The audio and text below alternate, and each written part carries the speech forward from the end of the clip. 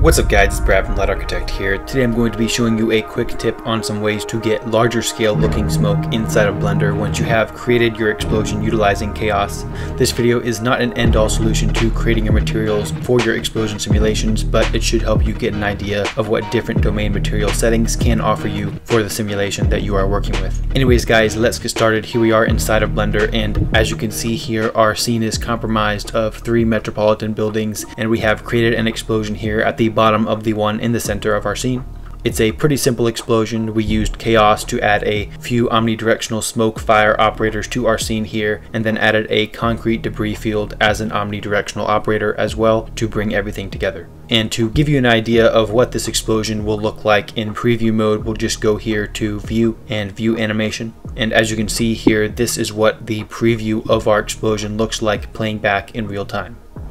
Anyways, if we zoom into our explosion here, we can see that there is a good amount of detail in the smoke and fire here in our preview material. And if we select our smoke domain here and go to the physics tab on the right, you can see that we have baked our explosion with a resolution division of 330 and even a high resolution noise upres factor at 4. And uh, this upres factor is actually way more than what I would usually use for a distant blast, as you can see for the camera angle that I used for this specific animation. But I just wanted to show you that I added a lot more detail than I thought was necessary for the camera angle preview that I showed earlier.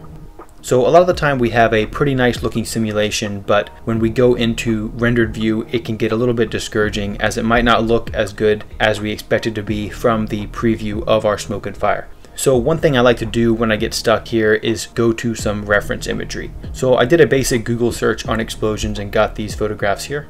And uh, as you can see when we look closely at a lot of these shots, the dense smoke that is cutting up the flames and adding a lot of that detail effectively looks really nice. So how do we try to mimic this look without rebaking our simulation entirely and just by tweaking the material settings of our smoke domain?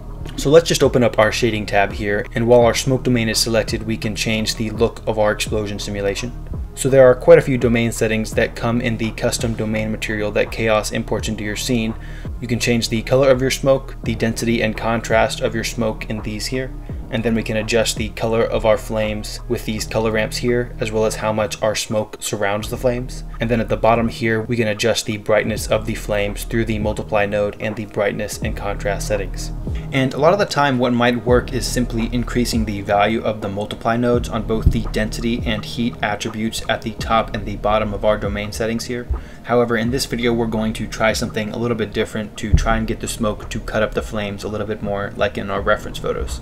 So instead of just adjusting the multiply nodes of the density and heat attributes, we will also adjust their contrast settings. So first we will go here to the heat attribute and we will bring this value down to around 4, which will make the flames a lot less bright. And then in addition to this, we will also change the contrast value of our flames to something higher, like 20. And this is going to increase the brightness of the brightest parts of the flames, but not affect as much of the darker attributes of the flames that aren't pushing through the smoke already.